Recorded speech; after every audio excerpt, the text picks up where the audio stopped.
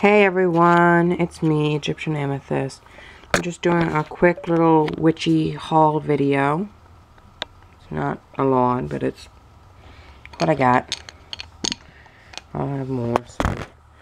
Note, the glass bottle is not included. It's just what's inside of it. Um, but what I got, this is from the Shooting Star in Sanford, Maine.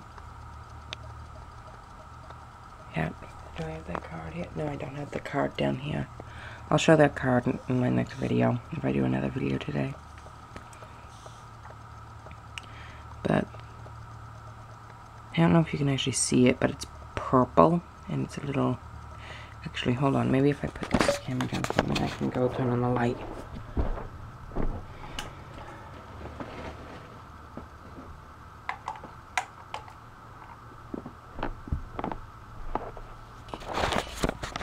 Okay, that helped. Now it needs to, now the camera can't focus, but whatever.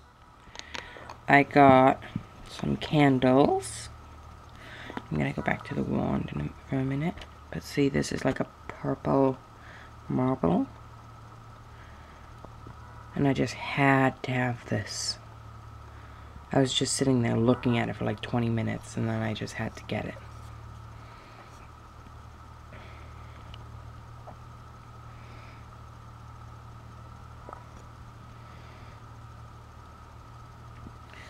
Um, and then I got some candles to add to my candle stuff because I actually don't have much much for candles right now because I'm run I've been running out um, using them for the Esbats and the um, Sabbats.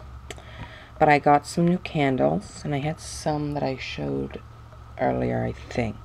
I started a video and I kept getting interrupted so I just decided not to do it.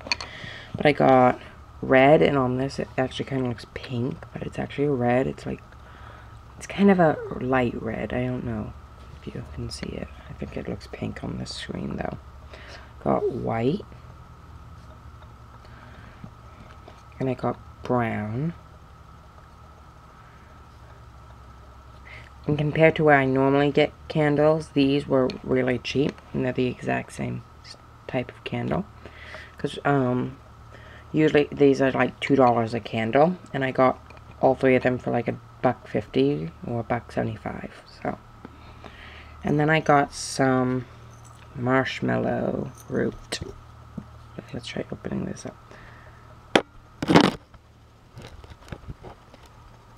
Marshmallow root. Um, and I usually get a lot of this, but I only got like an ounce. And I always wherever I can find marshmallow, I always get it because um, I have respiratory problems, as I've said in quite a few videos where I usually say I can't use candles. I've worked on that, so now I can use candles again.